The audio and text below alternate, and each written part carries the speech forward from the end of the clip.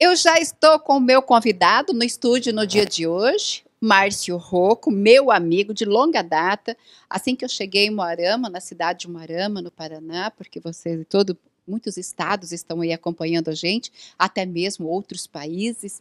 O Márcio Rocco eu conheci quando eu cheguei aqui em 2006, né? E, e temos uma amizade bacana. Ele é um rotariano, e hoje nós vamos falar sobre uma promoção bastante interessante e, para ajudar de um assunto que nós tratamos esses dias sobre o banco de leite humano, né? Então nós vamos falar sobre isso, mas vamos cumprimentá-lo primeiro. Tudo bem contigo, meu amigo? Tudo bem, Tamires, mais uma vez, é um prazer estar aqui no teu programa. Cara, eu estava saudade de você, sabia? Pois é. Aliás, e todos os rotarianos, a pandemia nos afastou de um jeito assim, um afastamento severo. E nós gostamos daquele, desculpa a expressão, o aconchego, né? É verdade, aquela, aconchego. Aquela, aquela, aquele cumprimento, aquele forte abraço. Né? Verdade, né? as nossas reuniões. Pois é. Primeiro é. uma reunião muito séria, depois o jantarzinho que o jantarzinho do Rotary é muito gostoso, simplesinho, mas é uma delícia, que eu gosto muito. Aliás, as pessoas que lá frequentam são pessoas queridas, maravilhosas, abençoadas, né? E isso me deixa muito feliz. Você sabe que você não precisa de convite para estar lá, né, Tamires?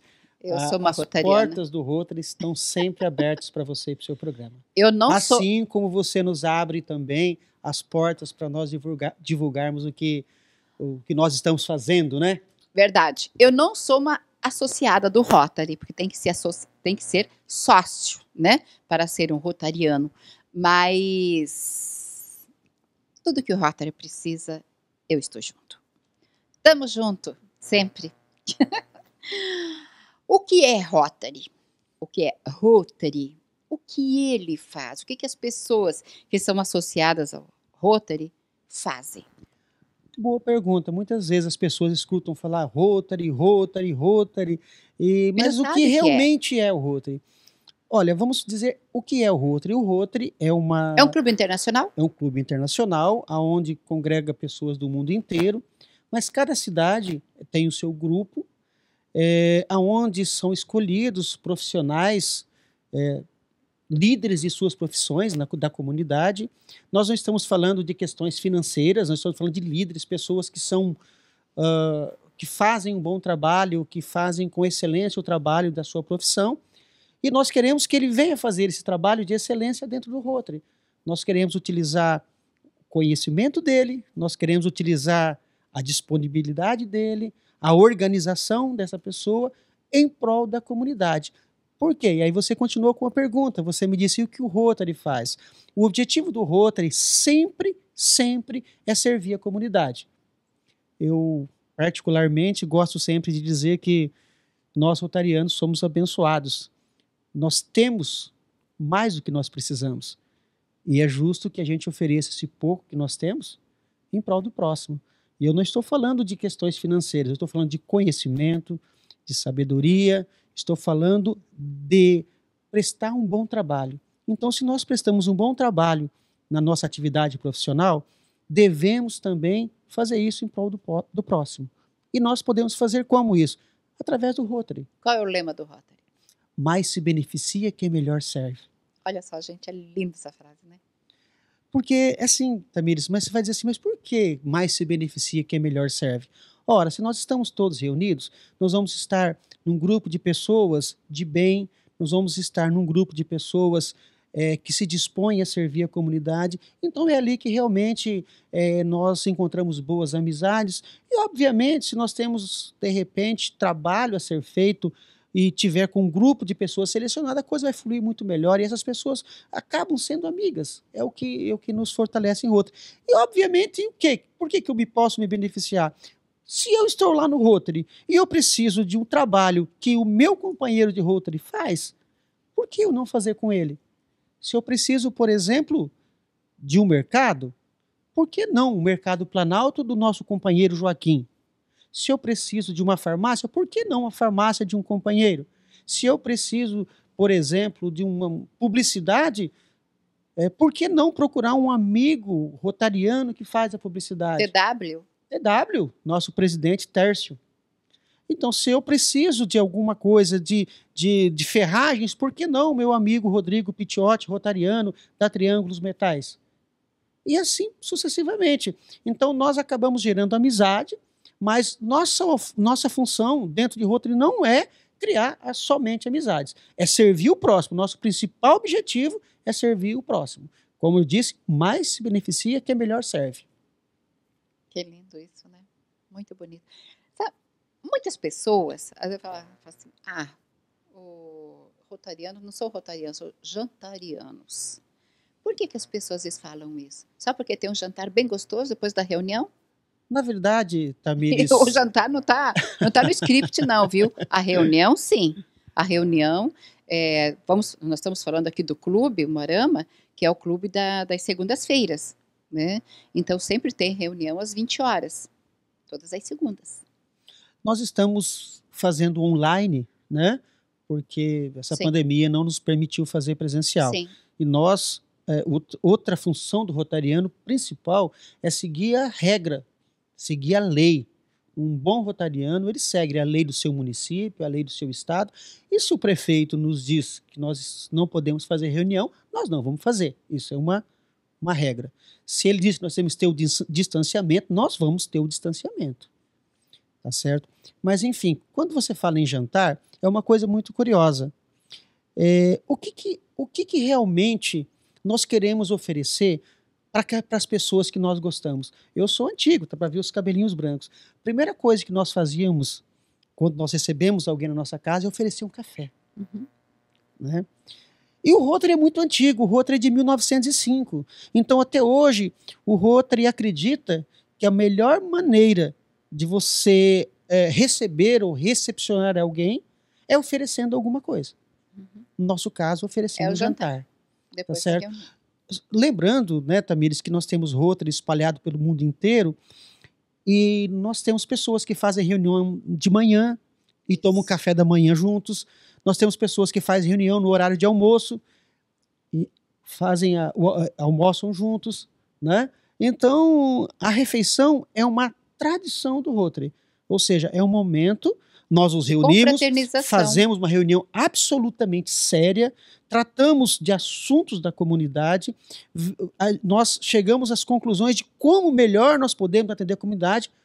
Resolvido isso, vamos para o nosso jantar, vamos nos confraternizar, como você bem disse. E me desculpe, não quero fazer comparações, né? Mas o próprio Deus, toda vez o próprio Cristo, toda vez que ele terminava o seu, sermão, ele oferecia o jantar para aqueles que estavam com ele, não é isso? Isso. E eu sei que você lê a Bíblia e sabe, não, é bem, sabe disso. É, né? exatamente. Sempre a confraternização é um momento muito precioso, sagrado. É a hora da refeição. E, e tem. Então, muitas pessoas falam assim, ah, os jantarianos tem a reunião, sempre tem convidados especiais, que assuntos importantes são tratados na reunião, às vezes uma grande promoção, porque o, todos os clubes Rotary têm as suas promoções. Então, são promoções grandiosas, na é verdade. Vocês é o frango na telha. Frango na telha, exatamente. É, bem entendido, Tamires. É, todos os nossos trabalhos eles têm que correr de acordo com a lei. E é discutido Isso, então reunião, nós temos né? que discutir todos os detalhes, todos é. os pontos, como vai ser feito, segurança, uh, a parte segurança alimentar, que quase a maioria das promoções são relacionadas à alimentação, a parte de, de se pagar os tributos que são necessários para se realizar, uh, os alvarás que a tudo, prefeitura, tudo, corpo tudo, de bombeiro, enfim, tá? E além disso, ainda o Rotary também promove muitas palestras dentro dos clubes, né, Tamires? Uhum. Aonde, aliás, você, desculpe usar um termo, mas você é campeã nisso, porque eu acompanho você. diversos médicos vêm aqui dar, sim, dar palestras, sim, sim, né? Sempre. E, e, e, o Rotary também tem esse direcionamento. Leva, porque todos os meses dentro do, do, do Rotary nós levamos um, um profissional para falar de, de de saúde, para falar de educação, falar de trânsito, falar a saúde da... do homem, a saúde da mulher. Isso, trânsito, que é um, um assunto muito discutido Verdade. na nossa cidade, né? Uhum. Então, o Rotary, ele trata de todos os assuntos necessários para o bem-estar da comunidade. Gostaríamos, quem sabe, de um dia poder resolvê-los todos, né? Mas se a gente não pode resolver todos, mas o pouquinho que a gente faz, eu acho que já ajuda a nossa comunidade, é um peso a menos para a nossa comunidade. Né? Porque o roteiro é família, né? É família, ali são pais de família, são vovôs, então se trata de assuntos que envolvem a família sempre. É, nós estamos com uma campanha, falar em campanha, vou, deixa eu continuar esse assunto aqui. A, o frango na telha, que é, é uma, é uma, acho que já há 20 anos, 22 anos, por aí, né, que acontece, 22, 23. Eu tenho medo de falar uma besteira, mas se não me engano foi a vigésima primeira. É? é? Tenho medo de falar uma besteira. Mas se não for a vigésima primeira, vai ser a vigésima ou vigésima segunda. tá aí. Ou a terceira, Entendeu? sem problemas. Mas já passou dos 20. É, quantas pessoas se reúnem na festa O Frango na Telha? Tamires, aproximadamente. Mais ou menos. É, esse ano foi atípico, né? Sim. O, aliás, aliás, aliás, essa festa que aconteceu esse ano era para ter acontecido o ano passado, né? Isso. A festa do frango ele é o prato típico de Umuarama e ela acontece no segundo final de semana de novembro de todo ano. Devido à pandemia, foi adiada, foi adiada, e infelizmente nós tivemos que fazer a, ela no sistema drive-thru. Quando ela acontece de maneira presencial, nós fazemos no parque de exposição, nós atendemos em média entre 2.500 e 3.000 pessoas e trabalham, isso em dois dias, e trabalham por dia em média 200 pessoas, nos dois dias. 200 pessoas cada dia. Entre cozinheiros, pessoal de limpeza, segurança, pessoas que limpam mesa, portaria, e enfim, enfim, até aquele porteiro lá embaixo que está recepcionando os carros, enfim, em torno de 200 pessoas né? Essa é a média que nós que nós temos de pessoas trabalhando numa festa de frango no dia.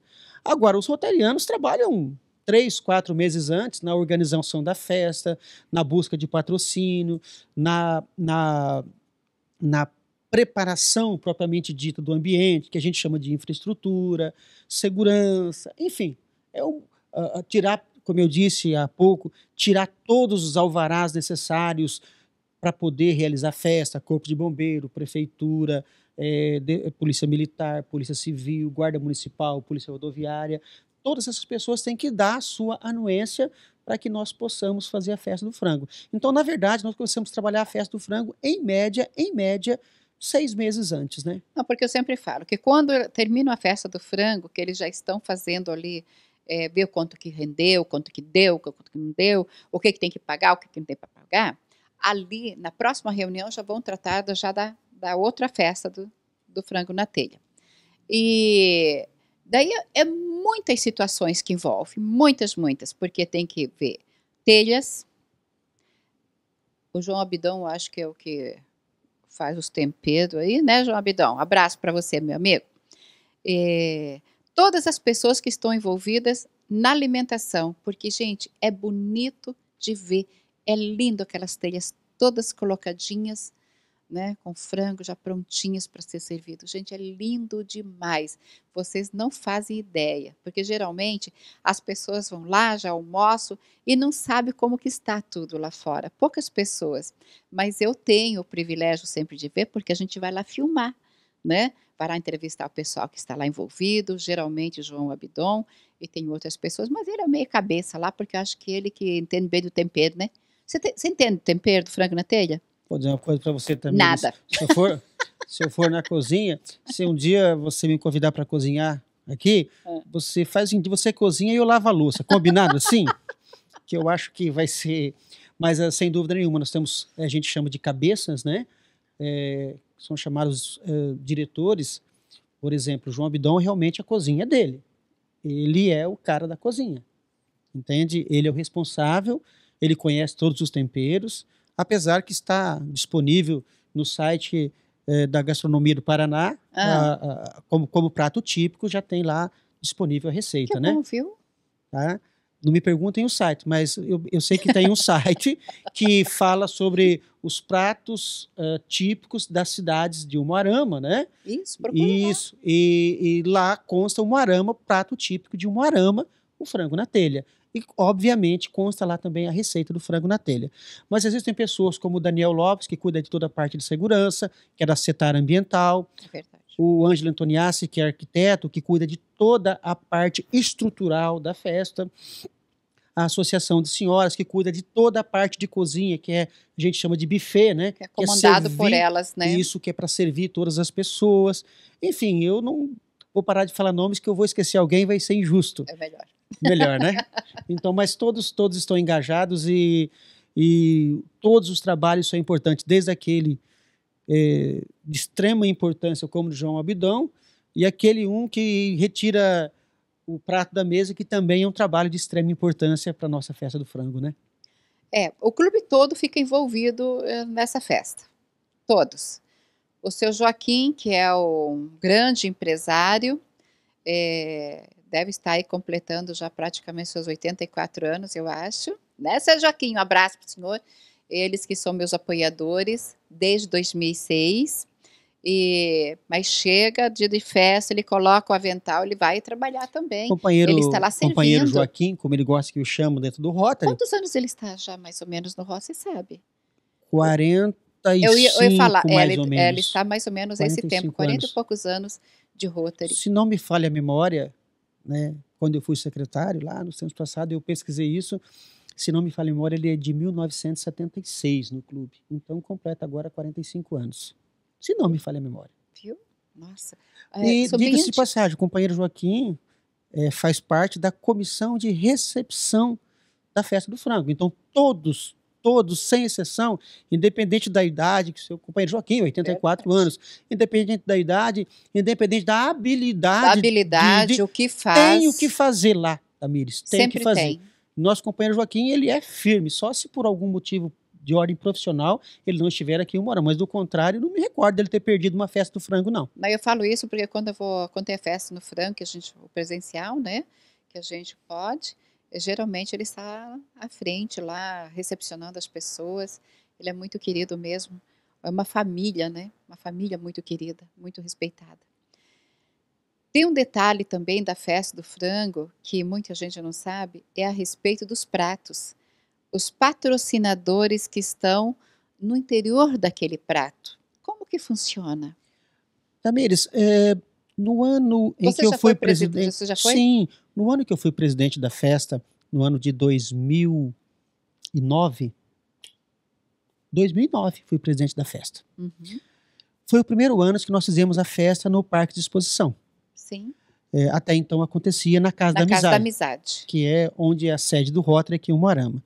E, e quando nós levamos, ah, nós copiamos, e nós não temos vergonha nenhuma de dizer isso, de Campo Mourão, que o carneiro no buraco, Sim, eles, sim, eles vez. ofereciam o prato. Uhum. E um, um companheiro do nosso clube, por isso que o Rotary, Rotary é maravilhoso, por que, que também a gente não oferece esse prato para quem compra o seu convite?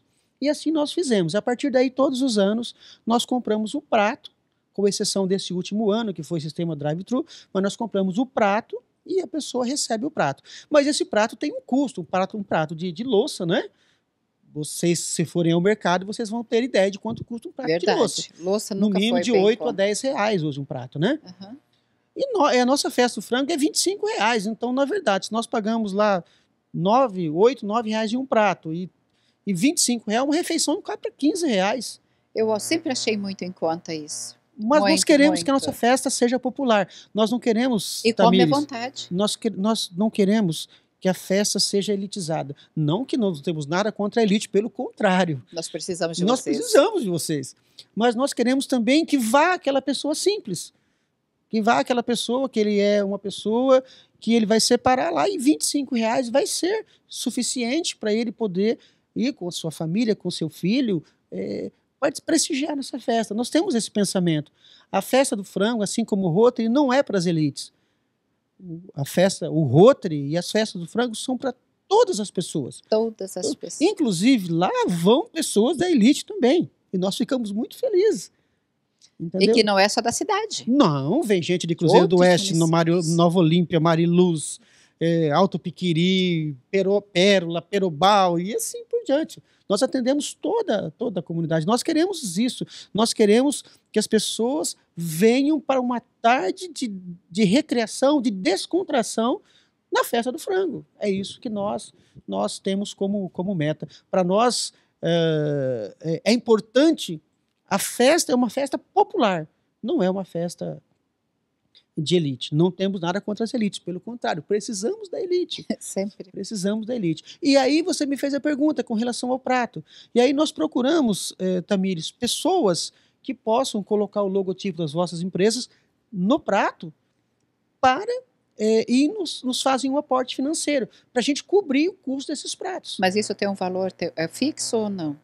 Isso é muito relativo, As né? pessoas- É, no- é notório, principalmente Doa nessa que, época agora. pode. nessa época agora, nós, nós, nós pensamos o seguinte: tudo parece que está meio maluco os preços, né, Tamires? Então nós precisamos saber quantos pratos são? 2.500 pratos. Qual é o custo desse prato? É, um exemplo, vamos lá, vamos vou arredondar o valor: 10 reais. Então são do, 25 mil reais. Quantas pessoas nós vamos colocar no prato? 25 pessoas? Vai ser mil reais cada um, por exemplo. Mas não é bem assim. Os patrocínios do prato giram em torno de 2 mil, 2.500, depende o valor do prato e a quantidade. Porque se você pegar também lá e colocar um negocinho desse tamanhozinho que ninguém enxergar no logotipo do prato, também não vai ficar legal, né? Então isso vai para um pro designer, ele vai olhar, ele vai fazer uma análise, vai, né? Já tem alguns alguns logotipos que já são colocados diretamente lá, que é o da Associação de Senhoras de Rotarianos, do Rotary, é, empresas, empresas, ou melhor dizendo, entidades que nós apoiamos, por exemplo, o Bopecan, e assim por diante, Abrigo Tia Lili.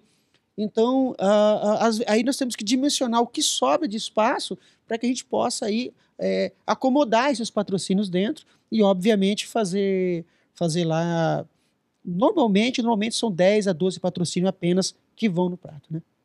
Olha que bacana. Assim vocês ficarem sabendo um pouquinho o que é o Rotary, né? E a festa do frango, a festa do frango na telha, que é já uma festa muito famosa e muito comentada.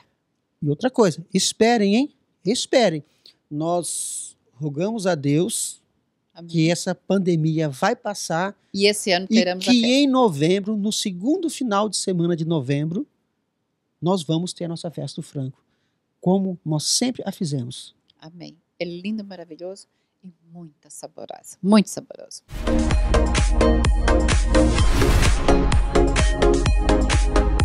Música